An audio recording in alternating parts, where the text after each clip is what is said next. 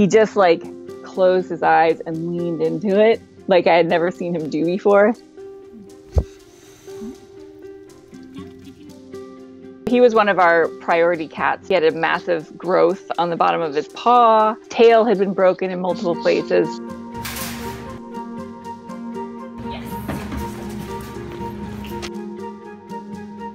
You know, you think a feral cat's gonna like attack you if you try to bandage their paw, but he was really good. He ultimately was like, ah, just do it and get it over with. Even an old, battle scarred, terminally ill, broken feral cat still has a lot of value and is worth saving. We wanted to give him a chance to live his sunset months in comfort.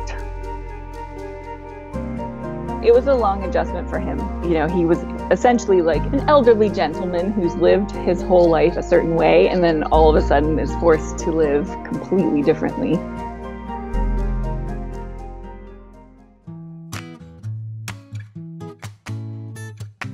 I just put them down and they were like, ooh, what's this new toy?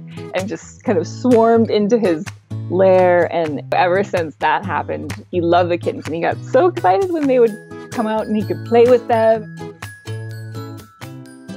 I just will bring them into his area. He knows they're there and he observes them for a while, kind of from a distance. And then if they run up to him and interact with him, then he'll start giving them baths and pick them up, taking them with him places.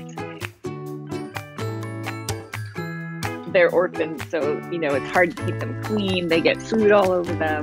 They need a grandpa to style their hair and to teach them all of the grandpa lessons about how to be a cat.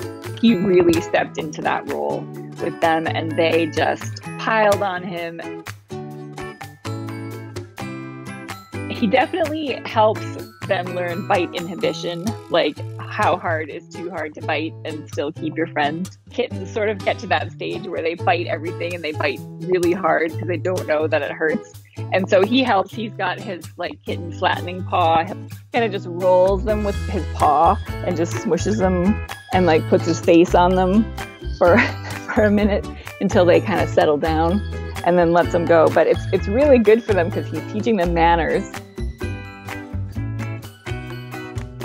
he's he's gotten more confident. He'll walk around. He'll come up close to me. We thought he had maybe four months to to live, uh, based on his condition. He's already outlived his initial prognosis.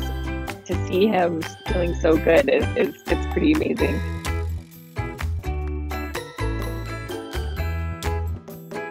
He's expanding his world a little bit, which makes me happy because I don't think he ever got a chance to be a kitten, and he's having so much fun.